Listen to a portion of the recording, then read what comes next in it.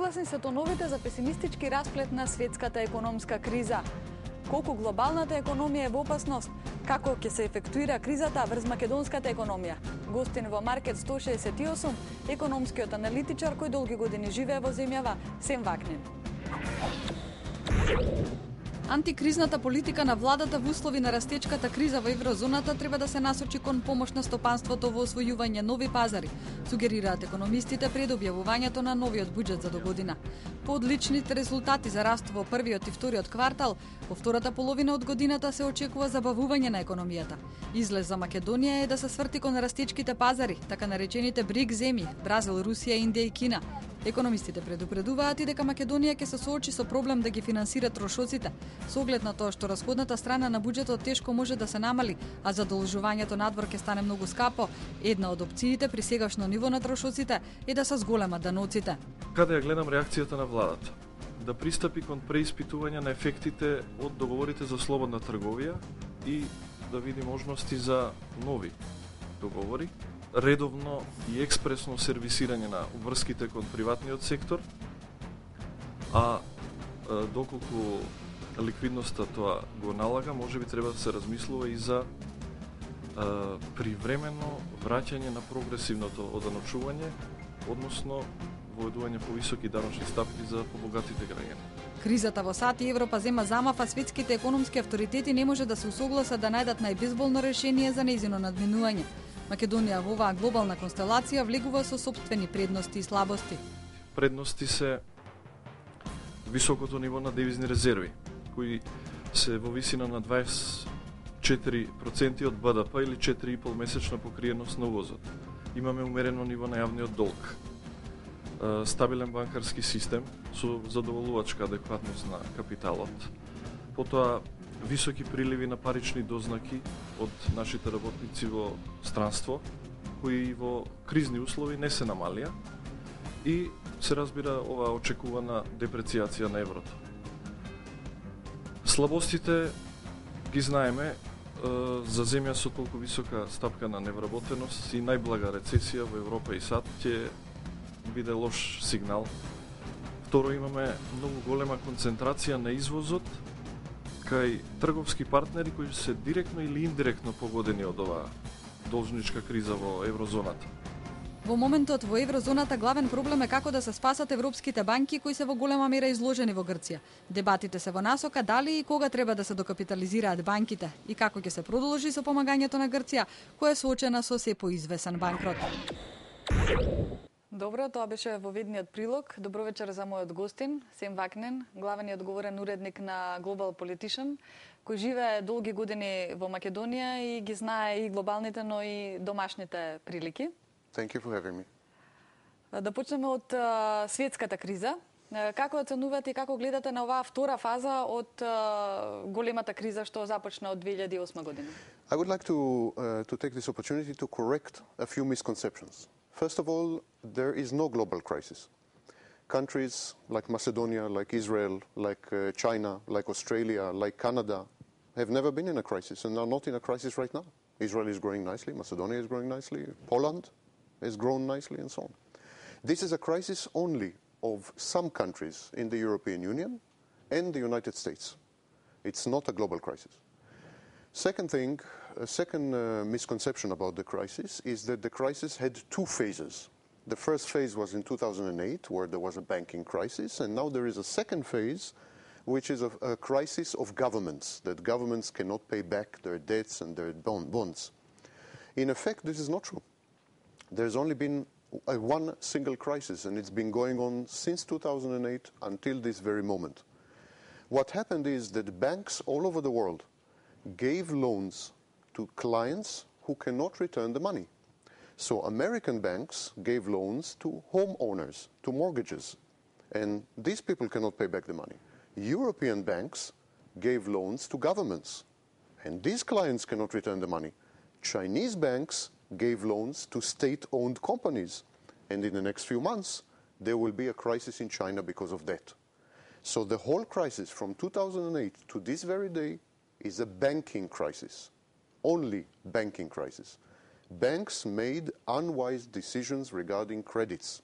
They gave credits to organizations, people, governments who cannot pay back. And the third uh, misconception is that if we solve the euro crisis, eurozone crisis, if we, for instance, if we bail out Greece or, or solve the situation with Spain, Portugal, Italy, and so on, then that'll be the end of it. That's the, that's the, the but actually that is not true. Even if tomorrow all these countries were able to pay their debts back and the situation would calm down and so on, the, the crisis is going on because the financial system is dead. The financial system throughout the world, from China to the United States, from Europe to, to the Middle East, from all over, the financial system has too many dead loans, bad loans, credits that cannot be paid back. And what this means that the only solution to this crisis is nationalizing the banking system globally. You will see that there will be a third development, two additional developments in this crisis. One, there will be a major financial crisis in China shortly. In a matter of a few months, I believe that by the end of this year or beginning of next year, Chinese companies and banks will collapse. And there will be a crisis in China very similar to the crisis in the United States in 2008. And secondly, municipalities, uh, Obstini, in the United States will not be able to pay back bonds that they have issued together with banks. So we will have another crisis in the United States connected to local government. Crisis is ongoing and will continue another five to ten years because all of us, individuals, companies, governments, municipalities, everyone was taking too much credit. And we cannot pay back this credit because we are not growing fast enough. We, we don't have enough. And when the banking system is down, banks do not lend money to companies. They do not finance trade. So companies fire people. Fired people don't pay taxes. No taxes, budget deficits. Budget deficits, borrowing. borrowing, sovereign debt crisis, etc. This is a, a vicious cycle. Only way to break it is to nationalize all the banks. The first, it will happen in Europe. Europe, in my view, in November, will begin to nationalize the big banks. Отвор, интересни тези истакнавте, малку различни од она што се зборува во Вашингтон. Еве ќе позборуваме и за понатаму за банкарската криза. За почеток прашам исто и какво каков расплет очекувате со грчката криза со оглед на тоа што е тоа епицентар на кризата во Европа? Yeah. First of all, it's very comic that uh, Greece is such a problem. Greece, uh, the Greece economy is between 2 and 2.6% of the total EU economy. Is uh, like a small village in Macedonia. Yes, it's a very small economy. And had Greece disappeared off the map, the rest of Europe should not have felt it economically. So, but, so what, what, it's not a problem of Greece. Greece can default tomorrow. There will be no serious economic effects. It's a problem of the euro. The euro was constructed badly. And as early as 1997, eh, many analysts, myself included, we were saying that the euro is constructed badly. Because countries like Greece, Portugal, Spain, and even France, even Italy, will take advantage of the good credit of Germany to borrow cheap.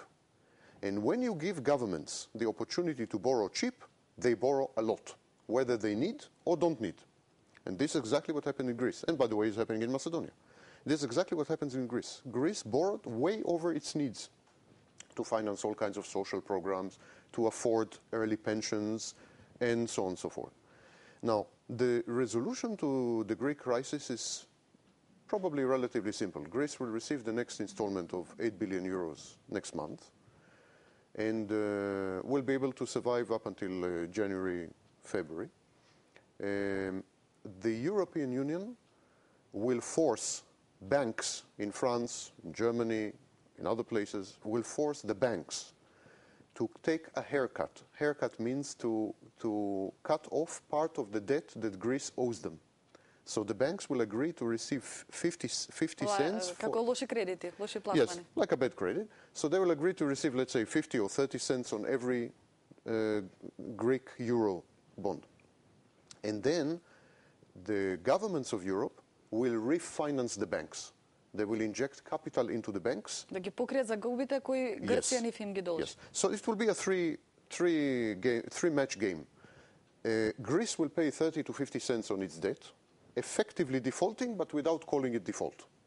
The banks will take a huge loss on Greek debts, like Dexia now, the bank in Belgium and France. They will take a huge loss on Greek debt, and Germany and France and other governments will inject capital into the banks, effectively nationalizing. Велите дека банките, дека практично ова е криза на банките, дека банките давале лоши кредити. А, од друга страна, рейтинг агенциите ги оценувале добро тие земји, па веројатно и затоа банките ги оценувале како малку ризични. А, дали е само одговорноста на банките или има многу широка одговорност за оваа криза? Еве и според оваа теорија што вие изнесувате. I firmly believe that the entire crisis from A to Z is the fault of the banks. Firmly believe. Of course, many people come to the banks, individuals, corporations, governments, and ask for money. It is the job of the bank not to give money. When Greece started to borrow money in a big way, which was 1998 and especially after the year 2000 with the introduction of the euro, when Greece started to borrow money, the, the debt of Greece was already equal to 100% of GDP. You don't lend money to such a country, or you lend. But between 2000 and 2010, banks tripled the money that they gave to Greece. Tripled. Dexia alone gave 24 billion euros to Greece. Dexia, one single bank, 24 billion. The, you have uh, French banks, you have German banks who, who have given to Greece 10% of their capital, 15% of their capital. It's completely insane. To Greece, Greece is 2% of the EU economy. 2%. Has no growth. Do you know that Greece, officially, has been in recession 50% of its existence? It's the only country in the world where every second year there is official recession. А кој е логичното објаснување зашто тоашна земја со такви перформанси Because they believe, they believe correctly that uh, if there will be any problem with Greece, Germany will cover the, the debt. There was an implicit euro guarantee. even though Germany kept saying, no, we will never pay back the debts, there is no mutual guarantee between the countries. There was a stability pact, you know, that uh, countries must maintain the deficit uh, under 3% and so on. Despite all this, everyone believed that ultimately Germany will pay the bills. And they were right, in effect. Uh, dobro, со Шпанија и Италија има исто така еден потенцијален проблем за кој пишува, за кој се зборува и пишува. Тие земји веќе презедоа фискални затегања, но и после овие преземени мерки рейтинг агенциите го намалија ги намали оценките за овие земји. Каков расплет таму се очекува со оглед на оние ризици на кои предупредуваат развиените земји и ММФ и Светската банка дека може да се случи во најлошо сценарио да се случи каскадно Spain and uh, Italy and Portugal, as opposed to Ireland and Greece. These three countries are examples of psychological contagion, infection, psychological infection, panic, simply, in one word. Market panic and speculators abusing the system to put pressure on specific countries. Spain, for instance, has its debt, its external debt, is 64% of GDP. That is one third Greece and one half Italy. Yet, Spain is put in the same category like Greece for no reason whatsoever. Um, its fiscal uh, affairs are in good order. It has very nice, well balanced uh, budget. I mean, with a deficit, but reasonable deficit, manageable deficit. It has a high unemployment because they fired a lot of people from the public administration. They took all the right steps. They are similar to United Kingdom, in effect. The United Kingdom took all the right steps. So there's no reason to put Greece in the same package. There's no reason to put Portugal or France now is being mentioned, and so on. This is a result of uh, panic. Now, the panic has two components. First, again, the banks. The banks now are refusing to lend money. They're refusing to lend money to companies to, and to individuals, so there is no growth, so there is no tax, so there is no, so there's a budget deficit. And they're refusing to lend money to governments. For instance, Macedonia used to borrow money in the international markets, and now Macedonia cannot borrow money. So it was forced to take money from the IMF under the special facility, which made the IMF very unhappy. And so the banks now are refusing to lend money, and we have a credit uh, crunch. The situation now, as far as bank lending is, is two times, twice worse than in 2008 and 9 at the height of a crisis. We know that because we have a special financial instrument called credit default swap This financial instrument that is traded all over the, all over the world shows us what is the risk in lending. And the, and the second problem is that, is that there are groups of speculators uh, all over the world, but especially in Europe, groups of speculators who on purpose spread malicious rumors, gossip. Uh, for instance, it's well known that the newspaper Spiegel is fed, fed by one group that constantly place in Spiegel stories that are intended to destabilize the markets. It's well known fact among the journalists. Constantly. And these rumors feed on themselves. People get panicked. Pension funds withdraw money. Banks don't give credit, and so on. So it's a self-fulfilling prophecy. In Europe, there are only there's only one. Uh, there are only two countries in the situation of in a truly bad situation. It's Greece and Ireland. Second worst is Italy. Spain, Portugal, and France should not be in the same category at all. And so, what will be the, the outcome? As I said in the beginning, I think ultimately what will happen is that they will establish a giant fund between 2 and 3 trillion euros. This fund will be used to do two things. To buy bonds from governments, so governments will issue bonds and not sell them in the market, but sell them directly to the fund. And to nationalize all the major banks in Europe, except British banks. All the other major banks in Austria, in Germany, in Italy, all of them will be nationalized uh, with capital from this fund. А сметате дека подобро ќе се управува со тие банки ако се национализираат? Worse cannot be. А кои ќе бидат еве вака едноставно земено најголеми добитници, профитери и најголеми губитници од оваа криза? The biggest, uh, the, the crisis, as I said, is limited to United States and some countries in European Union. We don't have crisis anywhere else in the world. Споменувате дека и во Кина би се очекува криза. Yes. Тоа е различно од она исто така што се yeah. Предвидувањата на глобално ниво обично по плаките на САД и Европа се дека Кина има пари, а не ги дава, не, не го поттикнува извозот на нивните економии. Yes, it's a common mistake to believe that if you have a lot of foreign exchange reserves, and China has 3.2 trillion да. dollars in reserves, if you have a lot of reserves, you're safe. It's a common mistake. In 1997, 1998, the countries with the biggest foreign exchange reserves were in Asia and there was the famous Asian crisis, which almost destroyed the global economy. So crisis has nothing to do with foreign exchange reserves. The, the problem of China is that the banks of China made very bad loans to municipalities and especially to state-owned companies in order to maintain the level of employment to prevent social unrest. So it's all political, totally political. Very similar to Macedonia, by the way. Totally, all economic thinking is totally politicized. So there will be a crisis in China. But at this stage, it's a prediction. Right now, except United States and some countries in Eastern Europe, the rest of the world is growing. There is growth in Brazil, in Israel, in Macedonia, in Russia, in, in uh, China. Everywhere there's growth. Australia. Everywhere is growing. So the, what we are seeing is a shift from west to east. The crisis symbolizes the movement of economic power from the west to the east. We are in a very, very important epoch in history where the power that the economic power, financial power, financial centers, economic ab ability to borrow, ability to finance trade, all of them shifted to. There are some signs that the East is becoming far more important than the West. For example, of every hundred new American products films, electronic products, cars. Of every 100 new products in 1960, 95 or 98, depending on the year, were launched first in the United States. Today, of every 100 American products, 73 products are first launched in China, India, and so on. So The American... Значи глобалниот расплет сметате дека ќе биде економско јакнење на истокот, а yes, this is happening, This is definitely happening now. Definitely happening now. Да, не оваа епоха како што кажувате, yes. тоа значи дека yes. uh, и крајниот резултат uh, би бил веројатно you know, на долги if, if you have a look that is longer than 20 years, if you have a look of of 1000 years.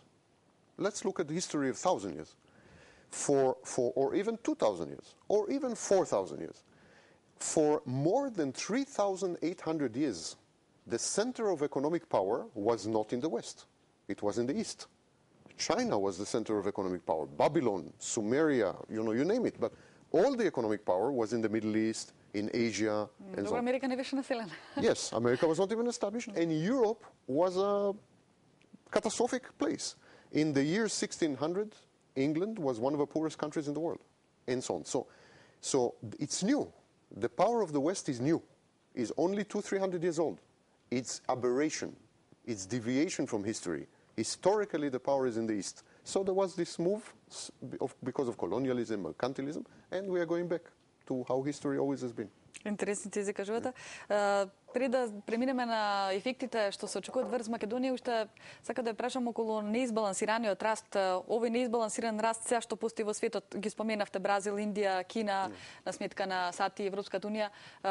Какви проблеми може да додадат или да одземат на кризата во што велите во банкарскиот сектор? I think there are. I, I don't regard it as a problem at all. Like, like it was not a problem that Europe and the United States controlled the world economy over the last hundred years. It didn't create any problem. It's not a problem that. Значи да има поизбалансиран раст не би го решило проб- не би е, ја It will- разрешило оваа криза. It's not a problem, and it will not solve the crisis because I told you the crisis has nothing to do with the, with the East. It's a, it's a Western crisis. It's the downfall of the West. That's the way the West is dying. It's like a disease. The, the West is dying economically. What will happen, I think, is not a problem, but two historical developments. Two historical developments. First of all, there will be what I call reverse colonialism, or more precisely, reverse mercantilism. During the last 400 years, countries in Africa, in by the way, Africa is also a growth potential, has huge growth potential. I think in 50 years, Africa will be more important than Europe. But countries in Africa, countries in Asia, and so on, in the past, in the last 200 years, were sending raw materials to the West. The West was processing the raw materials and selling the products back to the East. So there was raw materials coming to the West, finished products coming to the East. And this system was called colonial mercantilism. Now, the process is reversed because the East has more money than the West. So the process is reversed. The West is sending raw materials to the East, and the East is sending finished products to the West. O- uh, wheat, corn, agricultural products, the biggest seller of agricultural products is America, the United States. The biggest seller of uh, minerals and so on is Russia, uh, European Union. So all the surovini, all the raw materials are coming from the West. And who is selling, what, what products are we buying? We're buying products from China. We're buying products from Да, тоа е Taiwan. веќе со години. Пред малку ве прашав, може би еве не беше прецизно прашањето за добитниците и губитниците од оваа криза.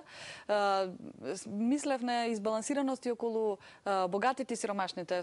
Со оглед на тоа што актуелни се овие протести на Wall Street за избалансираност, за поголем баланс, се смета нели дека нели богатите многу земаат од сиромаштите, сиромашните стануваат се посиромашни. Каков ќе биде расплетот од оваа криза во однос на тој дисбаланс? Дали богатите ќе станат уште побогати, а сиромашните уште посиромашни? Capitalism is built on inequality. The big engine of capitalism is inequality. Значи ќе остане ќе обстои капитализмот во These countries, сегашните закономерности. Obama, Obama is trying to revolutionize the, the spirit of capitalism in the United States by making it more European. But he will fail. Because the United States is established on the ethos of inequality, on the ethos that anyone can be far richer than his- the neighbor if only he tries hard enough. It's an American dream. The engine of capitalism is innate spite, jealousy, envy, and the wish to be more, the wish to be like your neighbor.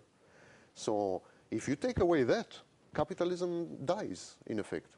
And what people don't uh, realize is that inequality is highest in the United States and highest historically also in the United States right now, except the 1920s. But there is huge inequality in Sweden enormous inequality in France, and very big inequality in the United Kingdom, and in Israel. You see the demonstrations in Israel, and so on and so forth. Wherever there is market economy, there is inequality as the engine. And inequality has grown dramatically, three times more, in China. So we cannot take inequality away. The losers of the crisis will be, will be people with old skills. another mistake that people make, they think that the crisis affects everything. That's not true. For instance, this year, American companies had the highest profits in history. This year. The highest profits in history for American companies was this year. Last year, American banking system had the highest profits in history. So how can we reconcile these enormous profits, enormous, by historical standards, enormous profits, with uh, unemployment, let's say? Because the companies now are using employees from outside their America, and they are using automation. And so the big losers will be the workers, the working class. Работни места. Yes, the working class will lose. This is the death of the working class. Trade unions, all this is. The working class has been dying already 20 years. Since the fall of communism, since the fall of socialism, the working class is dying and will continue to die. And the, the big winners will be the people who know finances, financiers, bankers, speculators, brokers. These will be the huge winners. Because the main product of modern economies is symbols, not agriculture, not manufacturing, not minerals, not cars, not juice, nothing. The main product of, of the economy is symbols. You can have symbols on a computer, you can have symbols in the form of money. In 2007 was the first year in history that the output of symbolic activities, information processing, outstripped was more than output of real products in the United States. First year. So we are moving into abstract economy. And people who can manipulate abstract figures, abstract words, abstract, people who deal with text, people who deal with money, people who deal with numbers, they will win. People who deal with machinery, people who deal with, uh, you know, they are dead, dead in the water. Добро да се вратиме на Македонија. Како оваа криза сметате дека ќе се одрази врз Македонија? На почетокот кажавте дека Македонија не е во криза, иако некои неофицијални информации се дека извозот паднал на крајот на летото драматично. Со оглед на тоа што кој Европа е во криза, веројатно ќе се намали побарувачката и сите анализи се дека Македонија би била погодена. Па дури и нашите власти тоа го предвидуваат. No, I didn't say Macedonia is in crisis. I said Macedonia uh, GDP is growing. Whether we believe it or not is a different question, and what is the reason it is growing is a different question. I think GDP in Macedonia is growing mainly because of government spending, especially on construction sector. Real private sector, I don't think is growing so much. But definitely you cannot compare the situation in Macedonia, let's say, to the situation in Greece. Or, so it's definitely there's no acute crisis. Ne, kakvi efekti može? Um, the global crisis, or the crisis in Europe more, more precisely, is a, is a huge opportunity for Macedonia. If the economic leadership of Macedonia will regard it as opportunity. Unfortunately, the economic leaders of Macedonia, namely Gruevski and Stavreski, were consistently wrong about the global crisis from beginning to end. If you analyze the statements, if you analyze their, they were all the time wrong, at, at the beginning, in the middle, at the end. so I cannot trust these people to lead Macedonia to take advantage of the crisis. But assuming that somehow they will acquire the necessary knowledge and expertise and possibility, and analytic possibility, the crisis represents opportunities for Macedonia. Consider, for instance, banking. A lot of money will escape from European countries. Germans are already transferring money outside of Germany, probably 2 billion euros a- month. Italians are transferring between 1.4 billion and 2.5 billion a month, and so on. It is believed that the total capital escaping Europe, escaping the, the sick parts of Europe, is about 150 billion a year. A year. Now, a lot of this capital is looking for places with proper banking system, reasonably safe and stable, but places which will provide um, uh, privacy, uh, secrecy, and offshore amenities, offshore possibilities. So a lot of this money is going to Lebanon, Cyprus, Montenegro, and so on. Macedonia can position itself as a totally legal banking offshore center, deregulated banking, uh, wealth management services, private banking services. It can, uh, the banking system can revolutionize itself and offer itself up as an offshore banking center. And I believe that a few billions of this money will come to Macedonia. Why not? Dobro, to se eventualne te Првичните сега навестувања се дека со новиот буџет Македонија би се борела контра овие ефекти од кризата со повторно еден numeren буџетски дефицит кој пак сега би се насочувал кон инфраструктура. Yeah. Дали сметате дека тоа е навремено или задоцнато со оглед на тоа што приоритетите предходно беа нели Скопје 2014 во овие 6 години многу малку се напредуваше во тие инвестиции. Дали тие навистина можат ќе бидат навремени и дали можат да ги намалат ефектите од кризата? As I said, a proper leadership would take advantage of the take advantage of a crisis and use the opportunities to build Macedonian agriculture, Macedonian banking, Macedonian transit uh, possibilities, and so on. This government, or the governments under Gruevski, prefer a Keynesian approach to, to the crisis. Keynesian approach means tax more, spend more. So the budget as a share of GDP has grown dramatically, spending has grown dramatically, borrowing has grown, has grown dramatically, and budget deficits are where they are. This also, of course, has impact on the, on the trade uh, deficit. Now, Исто сакав довршете мислата no. What I want to say is that there is disagreement among economists. I cannot I cannot say the government is wrong.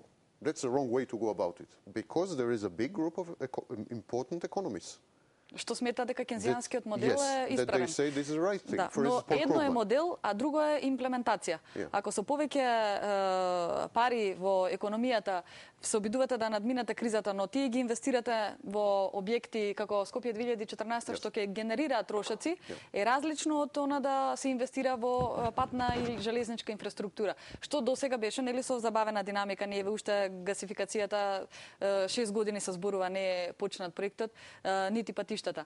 Веројатно повторно ќе биде проблем финансирањето на буџетскиот дефицит. Минатата година вие имате вие имавте еден напис, артикл за земените пари од ММФ, што бе, беше оценет од страна на ММФ, односно јавно не го кажа во таа форма, но апсолутно беа изненадени што Македонија не го искористи инструментот за оваа намена. Сега ќе бидат уште потешки условите на надворешниот пазар ако се случи криза. Која ќе биде можноста за Македонија да се финансира, да го финансира буџетскиот дефицит? To finance the budget deficit, there are basically three options. Option number one is to increase taxation or or collect more taxation, taxes. That's option number one. So Дали може сега владата, например, да рече повторно не можеме да се задолжиме со евробрзници, се ги земат и преостанатите uh, средства од ММФ? Nothing much is left of that facility. Nothing much is left, so it will not be sufficient. They can finance it either by increasing taxes or, or collecting more taxes. Uh, that's one way. They can borrow. Uh, they still have funds in the European Union, regional funds and so on. They have funds in the EBRD, they have funds and so on, borrow to some extent. IMF, you mentioned, the World Bank, they're borrowing and so on. And uh, the third uh, option is, of course, to cut the budget deficit, to rebalance the, uh, the budget, which I suspect this is what will happen, finally.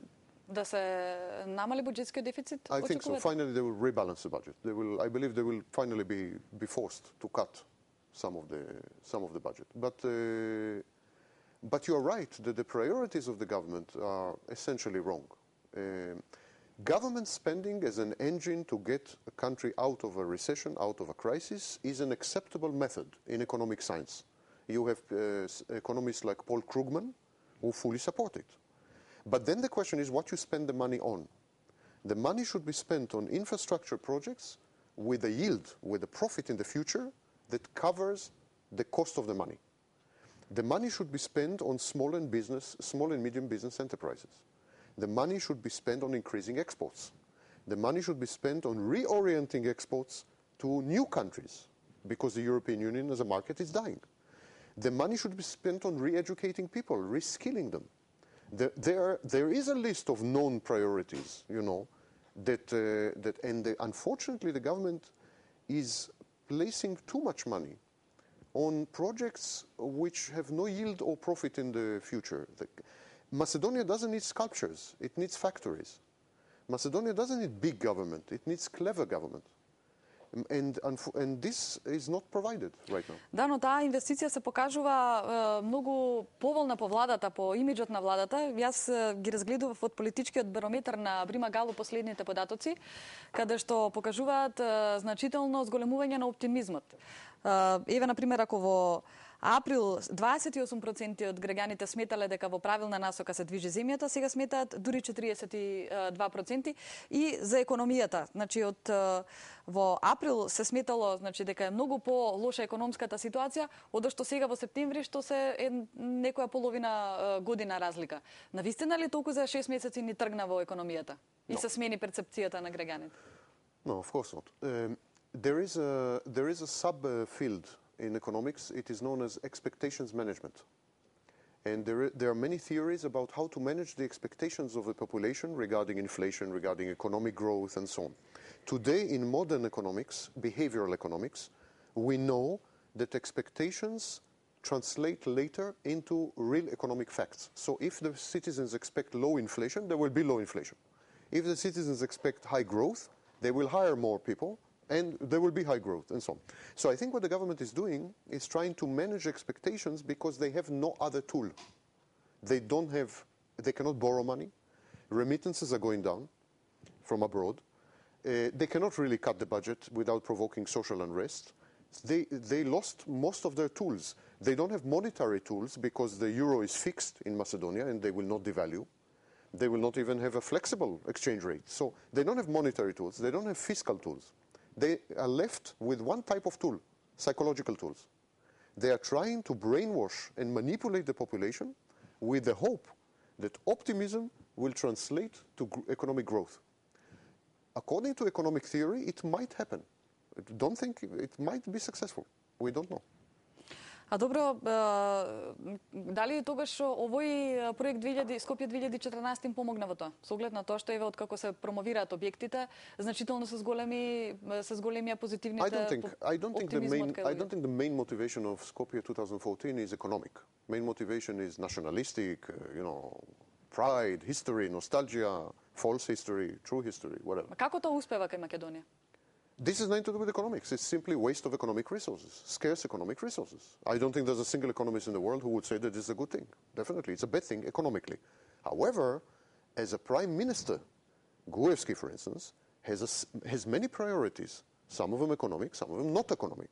Maybe he thinks that cohesion of the people, unity, what he calls unity, lack of criticism and so on are very important at this stage. And he wants to, he, he puts emphasis on that, not on the economy. And he sacrifices something from the economy to achieve that. Значи ќе страда демократијата.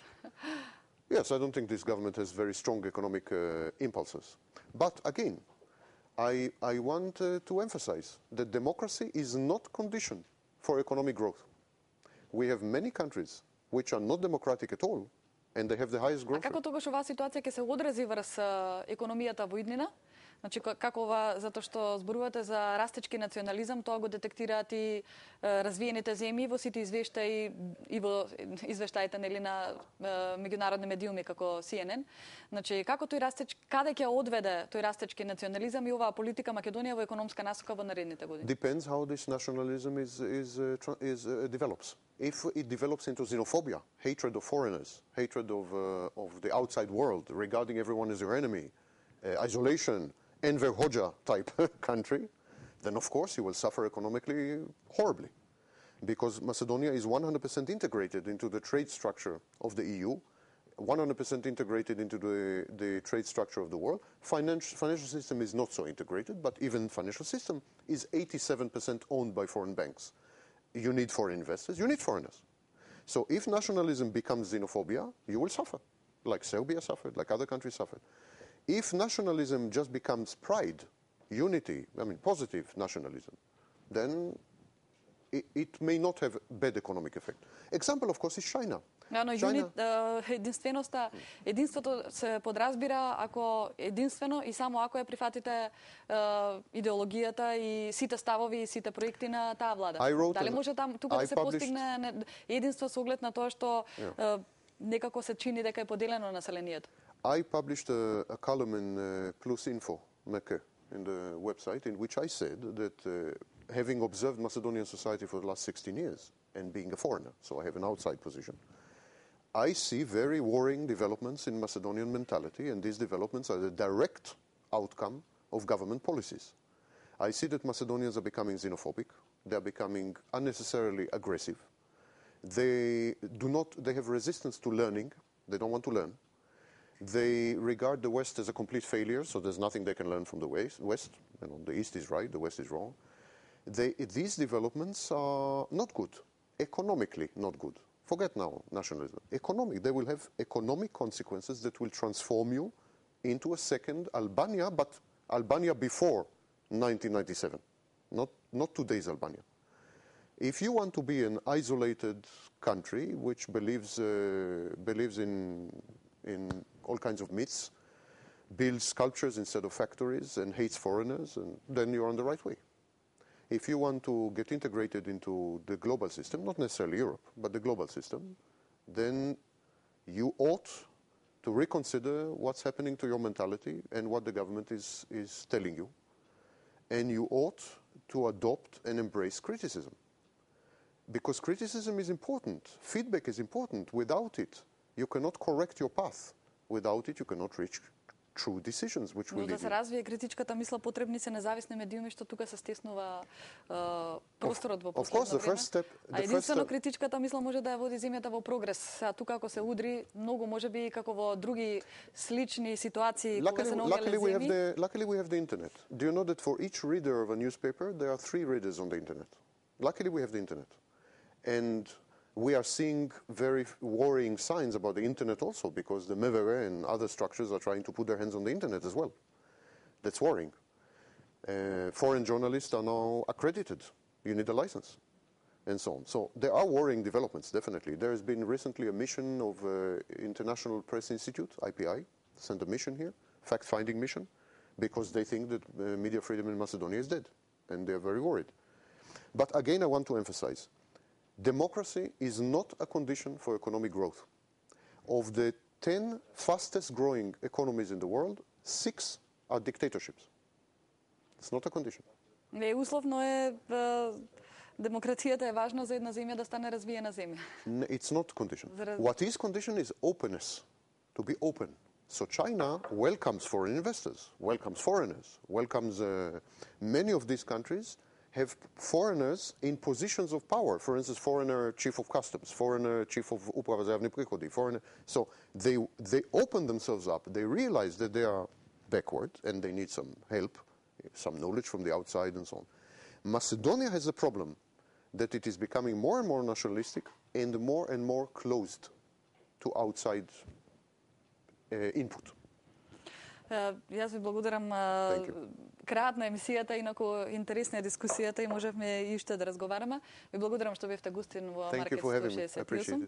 Ви благодарам и вам, почитувани гледачи, што бевте со нас во овие 45 минути и вашите сугестии ќе може да ги испратите на нашата имейл адреса. Пријатна вечер.